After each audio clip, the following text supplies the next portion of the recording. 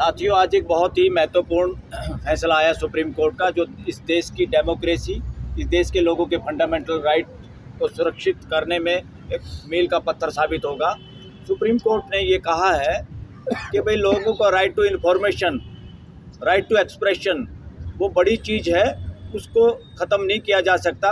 और जो चोर दरवाजे से फाइनेंस एक्ट ला के सरकार ने कानून बनाया था चोर दरवाजे से बनाया था। इतना महत्वपूर्ण कानून हमेशा ऑर्डिनरी वे जो तरीका है कानून बनाने का पार्लियामेंट के सामने आके डिस्कशन और डिबेट के साथ बनाना चाहिए था, उसको फाइनेंशियल बिल की तरह पेश किया गया। ये डेमोक्रेसी की हत्या और चोरी की है। सरकार इस मामले में अपराधी है सत्ता पक्ष। और इसका, इस फैसले से क्या बताया सुप्रीम कोर्ट ने? इसका सार क्या है? इसका सार ये है, ये जो काम किया है, ये असंवैधानिक किया है ये सत्ता पक्ष में जो बैठे हुए लोग संविधान को मानते नहीं और सत्ता पक्ष के सारे फैसलार इवन अटॉर्नी जनरल या वो सरकारी वकील जो सलाह देते हैं सरकार को, देश के पैसे से जिनका घर चलता है, उन्होंने अपराध किया है, देश की जनता के साथ धोखा करके, गलत सलाह देके और अपनी सरकार के हिसाब से रबड़ स्टैंप बन के जो काम किया है इवन कोर्ट को भी गुमराह करने की इन लोगों ने कोशिश की है। वो अनकॉन्स्टिट्यूशनल है, वो देश धरो एक तरह से। इन लोगों ने देश धरो का काम किया है। और रही बात ये क्यों किया गया?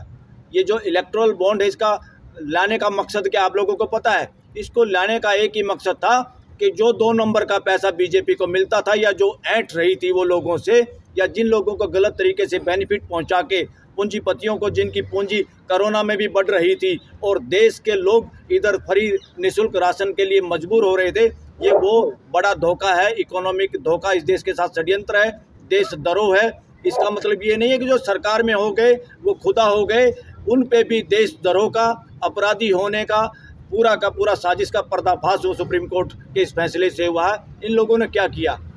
उन लोगों के किसी को डरा के जिनको इलीगल तरीके से बेनिफिट सरकार का पहुँचा है, इन्होंने सोचा सारा पैसा दो नंबर में लेंगे तो बीजेपी के हर डिस्ट्रिक्ट में जो आलिशान ऑफ़िस बने हैं, आरएसएस के बड़े बड़े भवन बने, वो सारे इस देश के खून पसीने की कमाई से और भ्रष्टाचार की नींव पे खड़े हुए साथियों, ये बड़ी जाँच होगी, सत्ता परिवर्तन होगा, इसकी जाँच होगी। आज ये सरकार जो सरकारी गवाह बना बना के, अरे गहरे नथु प्यारों को सरकारी गवाह बना के प्रेशर डाल के लोगों को जेल में डालने का काम कर रहे हैं। फ्यूचर में मुझे नहीं लगता इस देश का प्रधानमंत्री भी बच पाएगा। अगर सही जाँच होगी, सब बातों का पता चलेगा। आरएसएस और बीजेपी के बड़े बड़े लोग जेल में जा सकते हैं। दिल्ली सरकार के खिलाफ जो आरोप लगाया है, जो आप पार्टी के खिलाफ आरोप लगाया है कि शराब पॉलिसी की वजह से इन लोगों ने पैसा कमाया है दो नंबर के पैसे का इधर उधर ट्रांजैक्शन हुआ, जिसकी वसूली अब तक नहीं हुई। और सुप्रीम कोर्ट में भी कुछ लोग उनको जेल में लंबा रखने के लिए वायलेशन कर रहे हैं, संविधान का भी और लोगों के फंडामेंटल राइट का भी।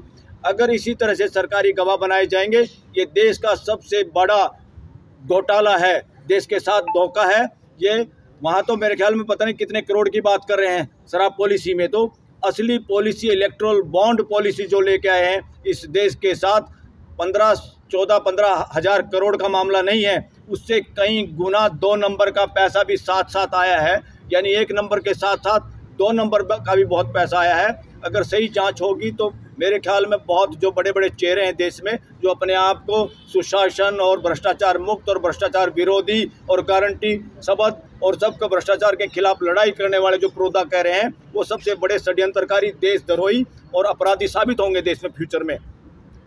और सुप्रीम कोर्ट ने देर में ये फैसला किया है। हमारी गुजारिश है सुप्रीम कोर्ट से भी हाई कोर्ट से भी। सुप्रीम कोर्ट हाई कोर्ट बिल्डिंगों में नहीं होती। सुप्रीम कोर्ट हाई कोर्ट में उसमें काम करने वाले जो लोग जज हैं और दूसरी साइड में जो वकील हैं, उनको मदद करने के लिए उन लोगों से बनती है। सुप्रीम कोर्ट हाई कोर्ट देश की जनता की है, उनकी प्रॉपर्टी है। हम लोग तो एक माध्यम है वहाँ काम करने के। जज भी एक माध्यम है। तो इसलिए सुप्रीम कोर्ट इस तरह के महत्वपूर्ण मामलों में भी सुप्रीम कोर्ट से देरी हुई है। पता नहीं कितने हज़ार करोड़ का ये घोटाला बढ़ गया। अगर ये फैसला पहले आता तो उसे बचा जा सकता था। बहुत सारे ऐसे लोगों की जान बच जाती जो रिश्वत नहीं देना चाहते थे सरकार को। बहुत सारे गलत फैसले, गलत लोगों को बेनिफिट होने से बचाया जा सकता था इस देश को। रूल ऑफ़ लॉ की व्यवस्था होती। सुप्रीम कोर्ट की इस तरह की देरी भी बड़ी विचारणीय और चिंता का विषय है। हम चाहते हैं सुप्रीम कोर्ट को भी आगाह और विनती करना चाहते हैं कि इस तरह के कामों में इतनी देरी करना हमारे लोगों का विश्वास आप लोगों से उठता है।